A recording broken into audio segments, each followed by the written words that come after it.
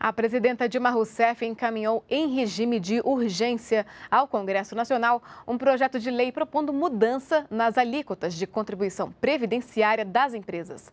A proposta de alteração na desoneração da folha de pagamento tinha sido encaminhada anteriormente ao Legislativo por meio de medida provisória. Agora, como é um projeto de lei, a regra ainda não está valendo. Para entrar em vigor, deve ser votada pelo Congresso Nacional e depois sancionada pela presidente Dilma. Segundo o Ministério da Fazenda, hoje mais de 125 mil empresas no país não recolhem 22% da folha de pagamento dos funcionários ao INSS.